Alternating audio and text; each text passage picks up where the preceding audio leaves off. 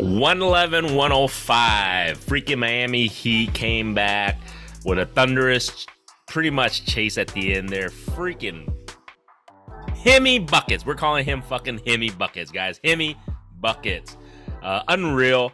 What a great comeback. I think they had like a 20 to 8 run at the end. They're coming back to beat the Celtics in Boston. On top of that, to win game two, to go to 2 0 ahead of the Celtics. And what started it all. If you guys didn't watch the game, holy shit. Uh, Grant Williams got into the face of Jimmy Buckets. The guy just, hey, I like that stuff. You know, it's it's playoff time. It's the Eastern Conference Finals. You know, they, they got into each other's faces, nose to nose, kind of uh, just talking to talk, you know, and, and just two amazing competitors going at it. Uh, and like I said, freaking Jimmy Butler had what 27 points, eight rebounds, six assists. Uh, I think he had like two or three steals. He had like two or three blocks. Un, you know, just he's him. That's why they, that's why I'm calling him Himmy, guys. I'm calling Himmy buckets from now on.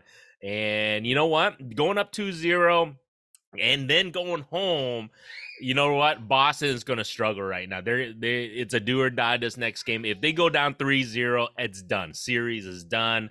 Uh, so they're gonna have to try and win this game three, whatever they can, Boston. But uh, you know, Jayson Tatum did what he could. Uh, Jaylen Brown did what they could. But the thing was, he didn't show up in the fourth quarter. They struggled. I don't think they had a field goal between them two in the fourth quarter, maybe one. And then Jayson Tatum only scored at the free throw lines. But other than that, didn't do jack shit in that fourth quarter, and that's why they ended up losing. So I'm gonna root for the Heat. I'm gonna go. Hey man, Jimmy is one of those cats, and he he's just a dog. He's not even a cat. He's a dog. Uh, the way he plays, he's he's just hustles and his defense.